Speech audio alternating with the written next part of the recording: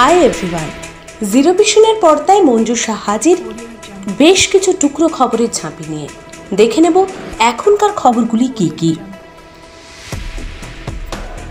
নন্দীগ্রামে পা রেখেই ফাইটার দিদি, কোন স্টান্স নেবেন? তৃণমূলের নয়া প্রচার ভিডিও ভাইরাল। দু হাজার উনিশ লোকসভা নির্বাচনে কার্যত সোশ্যাল মিডিয়ার হাত ধরেই বিজেপি প্রচারে ছাপিয়ে গিয়েছিল বিপক্ষকে। এবার সেই বিজেপি তৃণমূলের বিপক্ষ মমতার গড়ে। এমন এক পরিস্থিতিতে ক্রমেই কলকাতা থেকে একশো চৌত্রিশ কিলোমিটার দূরের নন্দীগ্রামের মেগা ডুয়েলে মমতা বনাম শুভেন্দুর লড়াই লাইমলাইট কাটছে। সেই পরিস্থিতিতে এবার তৃণমূল নিয়ে এলো নয়া প্রচার ভিডিও।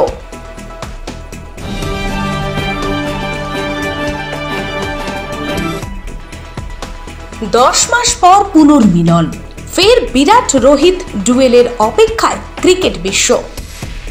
ওয়ান ডে ফরম্যাটে শেষবার একসঙ্গে মাঠে নেমেছিলেন তেরো মাস আগে। ইতিমধ্যে একসঙ্গে আইপিএল এবং ভারতের জার্সিতে টি টোয়েন্টি খেললেও পঞ্চাশ ওভারের ফরম্যাটে বিরাট কোহলি ও রোহিত শর্মাকে দীর্ঘদিন একসঙ্গে মাঠে নামতে দেখা যায়নি। ইংল্যান্ডের বিরুদ্ধে আজকের একদিনের ম্যাচে সেই অপেক্ষার প্রহর শেষ হতে চলেছে। এ ব্যাপারে বিস্তারিত জেনে নেওয়া যাক।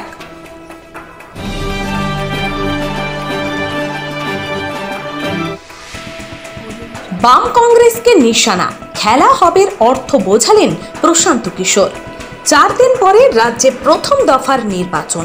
তাই এদিন সকাল থেকেই জনসংযোগে ব্যস্ত সব দলের নেতাকর্মী সমর্থকরাই। তৃণমূল সুপ্রিমো মমতা বন্দ্যোপাধ্যায় প্রত্যেকটি সভাতেই বলছেন, খেলা হবে। যার উত্তরে বিজেপি বলছে, খেলা এবার শেষ হবে।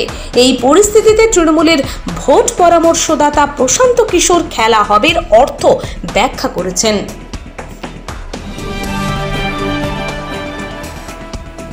আজ আমাদের টুকরো খবর এখানেই শেষ হলো। আপনারা সবাই ভালো থাকবেন, সুস্থ থাকবেন। আবার দেখা হবে আরও কিছু টুকরো খবর নিয়ে।